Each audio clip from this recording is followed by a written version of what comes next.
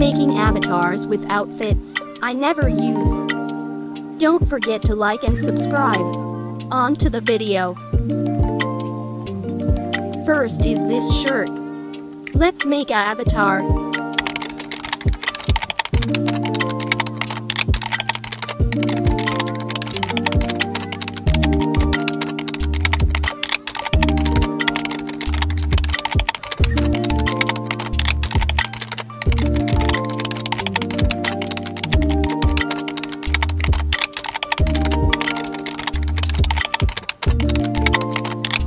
Here is the outfit.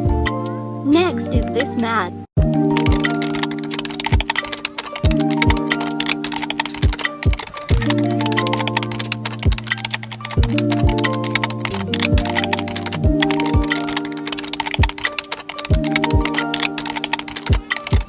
Here's the outfit.